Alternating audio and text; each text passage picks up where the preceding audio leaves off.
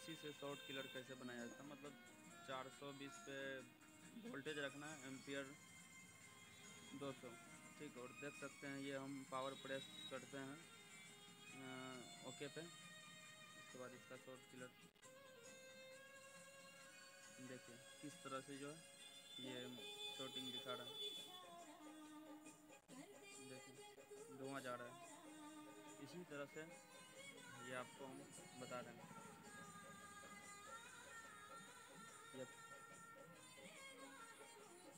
Voltage होगा चार सौ बीस एम्पियर मतलब जो है, दो सौ रखना में ठीक। और डीसी को आप इस तरह से शॉर्ट किलर यूज़ कर सकते हैं, जो कि आप देख ही लिए होंगे। इस तरह से ये प्रोडक्ट धुआँ धुआँ हो गए